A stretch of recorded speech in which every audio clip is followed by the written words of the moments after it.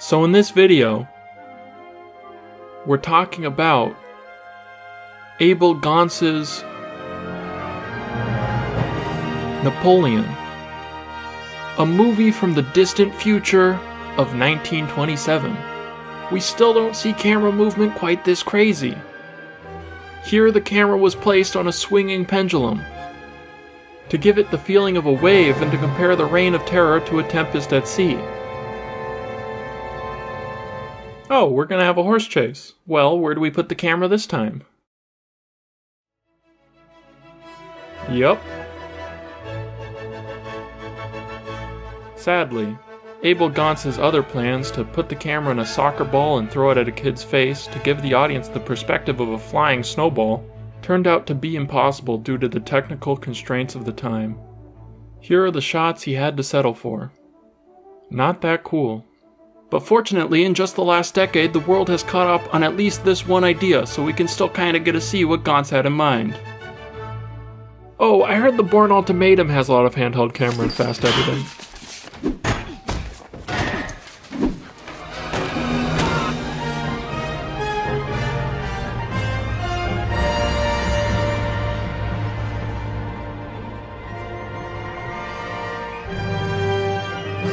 Baby stuff. And there's something important that I'm forgetting.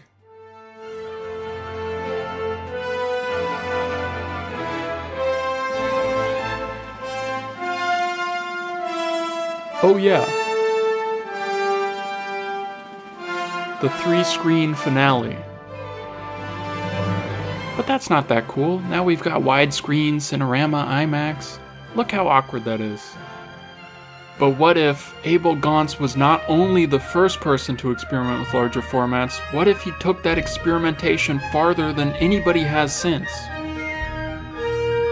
Try to imagine this experience in the theater, live orchestra and all.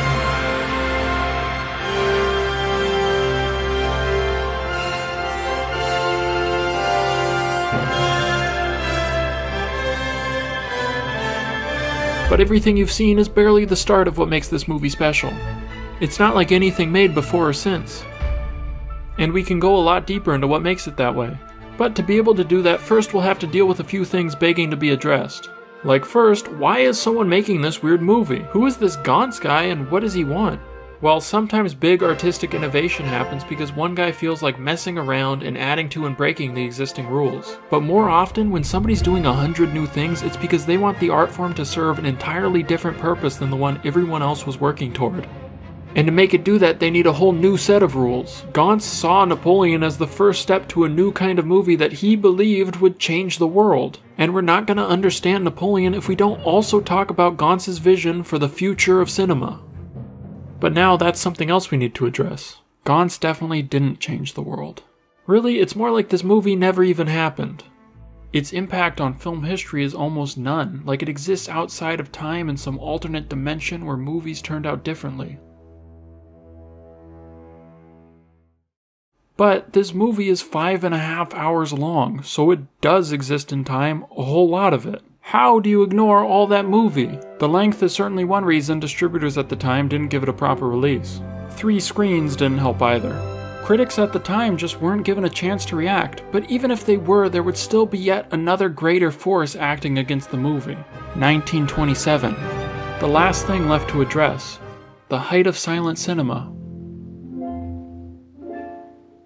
One of the best and worst years for movies. A lot of good stuff came out that year. But all that ambition and creativity was no match for one cheap, unimaginative, and really just awful movie. Why?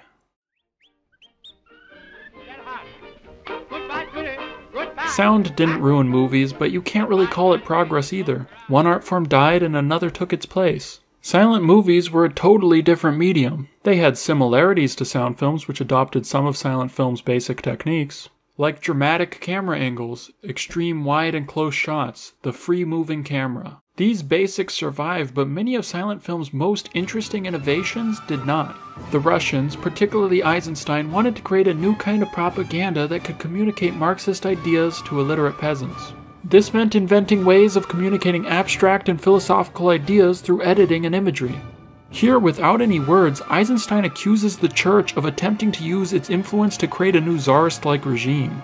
Meanwhile, the Germans and the French were developing ways of visually communicating emotions, thoughts, and states of mind. The Germans were trying to make their internationally popular melodramas more emotionally potent, and the French were messing around because nobody was watching their weird movies anyway, which were usually like the standard narrative films of other countries, except that they would burst into random moments of visual poetry, which sometimes depicted the thoughts and dreams of the characters, but other times were just cool looking stuff. The way things were headed, many people believed that film was on its way to developing a new, completely visual language. And what about Gance? He had actually influenced all these countries with his earlier film La Roue, and now with Napoleon, he would absorb all their different reactions and combine them towards his own idiosyncratic goal. Gance didn't just want to speak cinema, he wanted to sing it. He wanted movies to become what he called the music of light. He wanted his movie to communicate ideas, but he wasn't trying to make propaganda or a philosophical essay like the Russians. Like the Germans, Gance visually communicates emotions, but he isn't trying to make a movie about empathizing with or being emotionally invested in the characters. The emotions Gance is really after are, are of a different kind. And like other French movies, Napoleon has long, poetic visual sequences, but they aren't tangential or random, they're essential to the kind of movie Gance is trying to make. Let's start with that distinction. Why aren't these sequences random? Because in Napoleon, these sequences aren't a distraction from the drama, they're its replacement. Ultimately, Napoleon isn't a dramatic film, it's an experiential one. What does that mean? Well, think of other experiential epics like 2001 or Apocalypse Now which I'm about to spoil the ending to to help explain our distinction, though it's not really a movie where story spoilers matter much. Because in the end, when Willard kills Kurtz, dramatically, it's not much of a payoff. We still don't really know anything about Willard's motivations or feelings, and Fat Brando doesn't even put up a fight, but the scene still pays off audio-visually. We get the madness, the horror, the visual metaphor of the ritually slaughtered bull, and we're not left disappointed. We're satisfied by the experience, not story or character drama. Because the rest of the film, the gradually crazier and crazier experiences on the boat, were building to this experiential climax, not the dramatic climax between Willard and Kurtz. There's our distinction. Many movies offer some drama and some experience. But what's supposed to be the big payoff? What's the audience staying in their seats for? What is the movie taking its time to set up? That's what makes it a dramatic or experiential film. Napoleon is broken up into a series of historical episodes, which usually build up to some grand visual spectacle. The end of the whole five and a half hour movie is a bunch of guys walking, but it's on three screens. Which brings us back to that second distinction. If Napoleon isn't a dramatic film, what kind of emotion could it offer? Right? Not the intellectual, empathetic kind where we come to understand a character's motivations and inner struggles, but something more immediate and primal, participative emotion, like we get with music. Or from being a part of a crowd. These feelings aren't vicarious, they're visceral, and we share them directly with one another. Like this.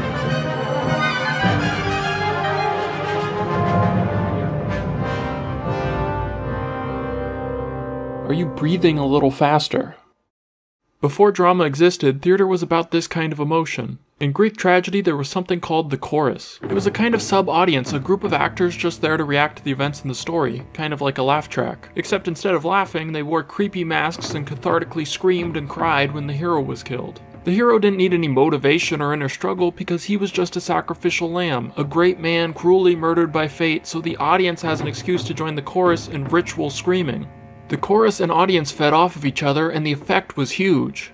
The audience was part of the play because without them, the whole thing wouldn't work or make any sense. Gance was heavily inspired by this idea. He said he wanted his audience to become actors in the film. That's why he flailed around like a crazy person and participated in every scene. Why he throws us into so many weird perspectives. And why he said the most important actors actually in Napoleon were the extras which is kind of an oxymoron. They're literally called extras. But for Gance, they were the emotional core of his movie, his version of the Greek chorus. So much of the movie is shots of big crowds, which Gance wants us to become a part of so that we can enter the film and feel alongside the characters, not for them. Most of our connection to the main character comes from the effect he has on these crowds.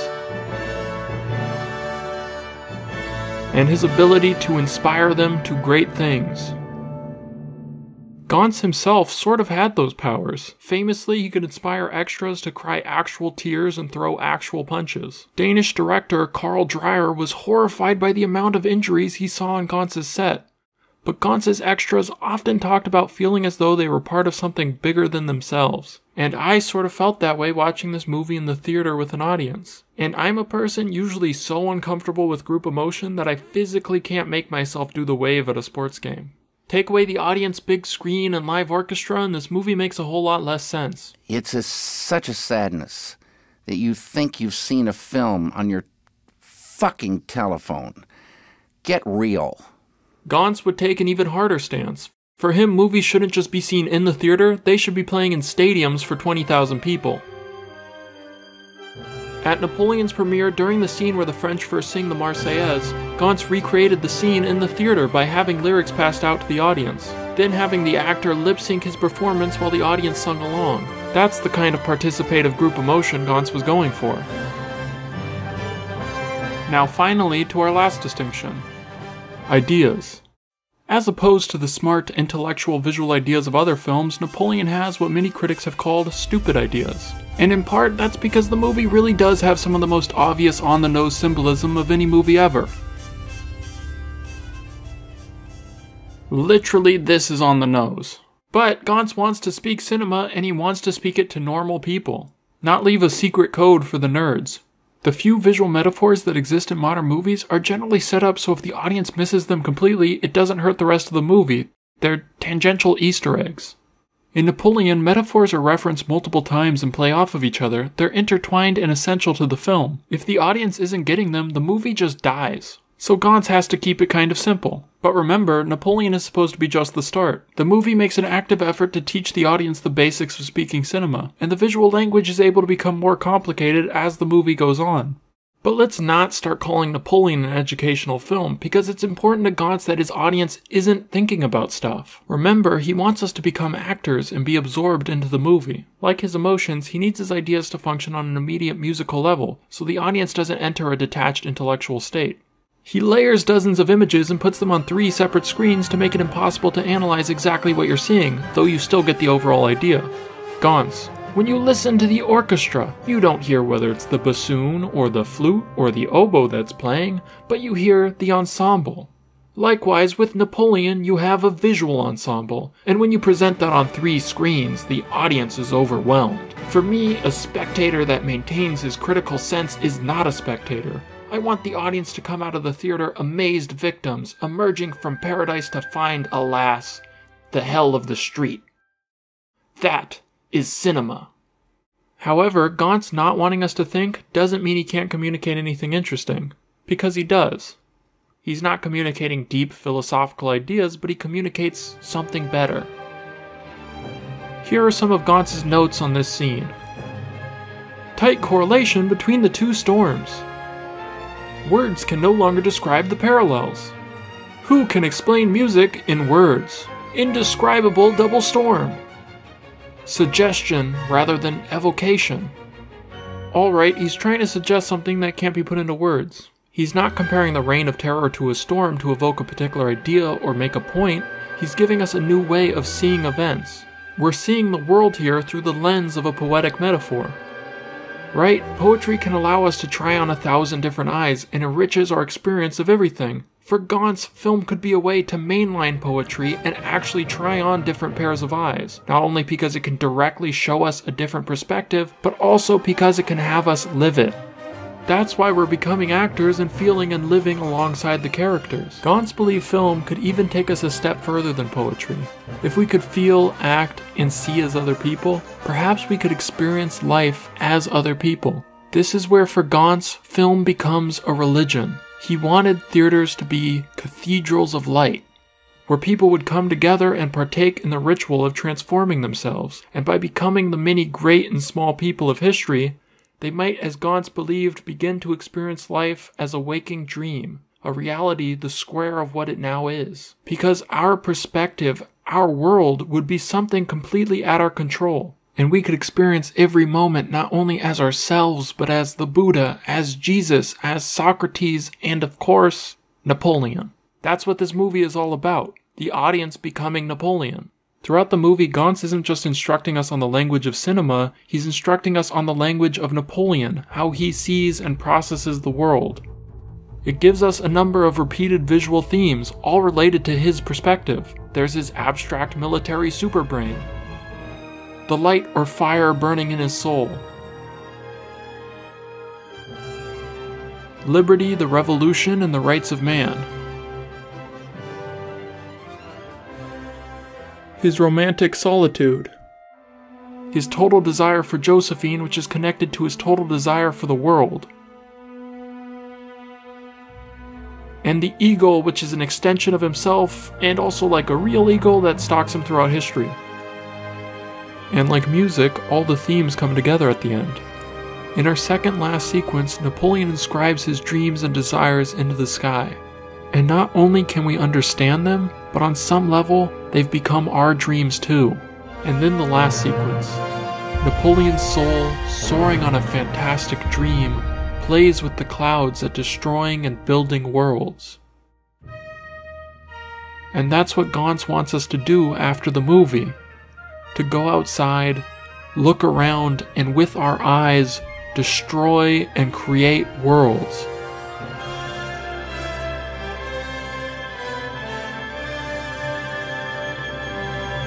That's it. The music of light.